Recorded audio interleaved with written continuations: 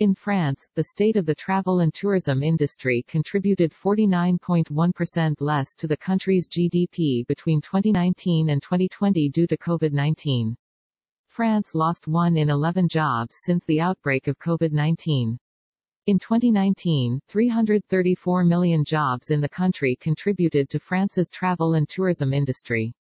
The GDP contribution for the tourism sector in France went from 8.5% to 4.7% from 2019 to 2020. International visitor impact on spending went from 60.4 billion euro to 28.5 billion euro, a 52.9% loss from 2019 to 2020. Domestic visitor impact on spending went from 115.5 billion euro to 58.0 billion euro or 49.8%. The numbers comparing domestic spending was 66% in 2019 and 67% in 2020. International spending was 34% in 2019 and 33% in 2020. The leisure travel market went up to reflect 3% more leisure travelers spend in France.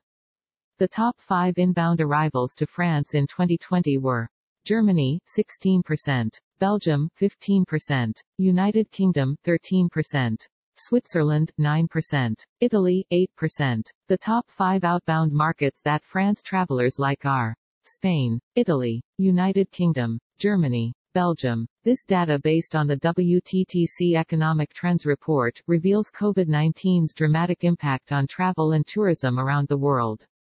Prior to the pandemic, travel and tourism including its direct, indirect and induced impacts accounted for one in four of all new jobs created across the world, 10.6% of all jobs 334 million, and 10.4% of global GDP 9.2 trillion United States dollars. International visitor spending amounted to 1.7 trillion United States dollars in 2019, 6.8% of total exports, 27.4% of global services exports. The research also shows that the travel and tourism sector suffered a loss of almost 4.5 trillion United States dollars to reach 4.7 trillion United States dollars in 2020, with the contribution to GDP dropping by a staggering 49.1% compared to 2019, relative to a 3.7% GDP decline of the global economy in 2020. In 2019, the travel and tourism sector contributed 10.4% to global GDP, a share which decreased to 5.5% in 2020 due to ongoing restrictions to mobility.